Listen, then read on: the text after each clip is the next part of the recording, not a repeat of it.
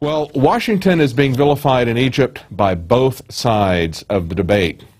This article from the Chicago Tribune has a great photo in it. It actually uh, shows people holding up a sign says Obama is supporting terrorism. It says no matter which side you talk to in Egypt, where people have been polarized by violent political crisis, the U.S. president is cast as the villain. Somebody should tell that to Rachel Maddow. Maybe she should interview some people in Egypt because she doesn't believe that our government is behind terrorism. She doesn't believe that we fund terrorists like Al Qaeda. And in reality, we're probably funding both sides. We fund not only the terrorist rebels, but we also fund the dictators and the military coup. And uh, that's being done illegally.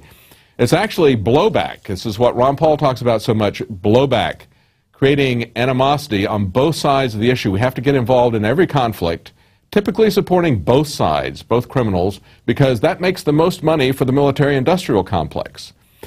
But it's not just that we get blowback, it's not just that we make enemies of people, but it's actually something that is being done by design, as I said, so that the military industrial complex can sell the most amount of weapons.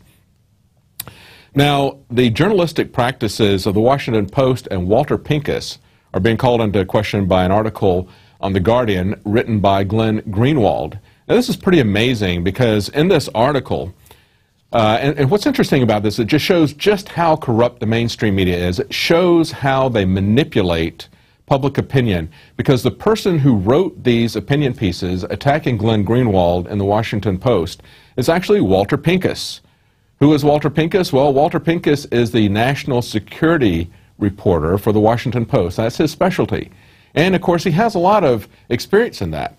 This is a man who was a, uh, in COINTEL in the Army. He also wrote uh, How I Traveled Abroad on CIA Subsidy, where he recounts how he spied on American students abroad for the U.S. government. And then he went to work for the Washington Post, mainstream media, promoting the government's narrative.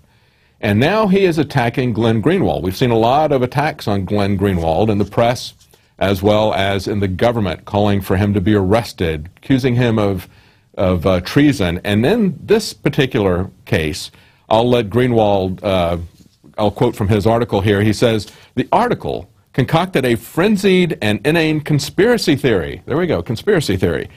That it was WikiLeaks and Julian Assange working in secret with myself and Laura Poitras who masterminded the Snowden leaks ahead of time and directed Snowden's behavior and then Assange. Rather than have WikiLeaks publish the documents itself, they generously directed them to The Guardian. To peddle this tale, Pincus, in lieu of any evidence, spouted all sorts of accusatory innuendo masquerading as questions. He said things like, did Edward Snowden decide on his own to seek out journalists and then a job at Booz Allen Hamilton's Hawaii facility? Did Assange and WikiLeaks personnel help or direct Snowden to those journalists? He's pointing out that the technique that he's using here is to basically raise questions without any supporting evidence. Now, InfoWars is accused all the time of being conspiracy theorists, and that word was, that phrase was first used to attack people who questioned the government's official story about the JFK assassination.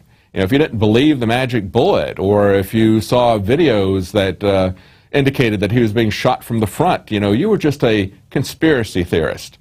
Well, when we talk about things, we have to, that, are, that the mainstream media is not talking about, we know we're going to be ridiculed. So we carefully document what we report, unlike the tactics that the Washington Post uses. And what he says is that in part of the debate that is out right now as to what is journalism, you know, should journalists be licensed by the government? Should only journalists have freedom of speech? He said they jump into this debate and they give us an example. They answer it this way. They say, what is journalism? Glenn Greenwald said, the Washington Post says, well, you fill up articles on topics you don't know the first thing about, uh, with nothing but idle speculation and rank innuendo and evidence-free accusations, all under the guise of, quote, just asking questions. And then he finishes up the last quote I'll read from him. He says, but shoddy journalism from the Washington Post is far too common to be worth noting. What was far worse was that Pincus's wild conspiracy theory, theorizing was accomplished only by asserting blatant easily demonstrated falsehood. So he really takes that apart. It's a, it's a great article. And they took a very long time, very reluctantly, uh, doing retractions of the false statements that were put out there, as well as the slander and the innuendo against Glenn, Glenn Greenwald. Uh, now, take a look at this next video. This is another example of what DARPA is working on. First, it starts out with uh, the, the uh, uh, Petman project, and now we've got this uh, robot, Atlas, that stands six foot two, is 330 pounds, possibly the most advanced humanoid robot ever built. And this is part of a contest that is being sponsored by DARPA. And if you want to know what they are going to use these robots for, what the military industrial complex and the police industrial complex is going to use these robots for, just take a look at the trailer for Elysium.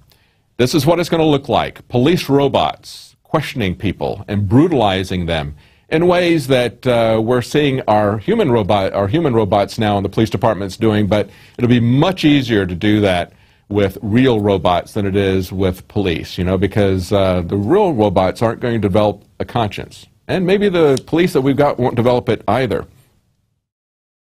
Now you can watch Alex Jones live at Infowars.com forward slash show. You'll find links to all of our content there and a free 15 day trial for Prison Planet TV. You can also browse the network, the InfoWars Nightly News, and over 60 movies and documentaries all together in one place. You can watch the Alex Jones radio show live as it happened. So check it out, Infowars.com forward slash show.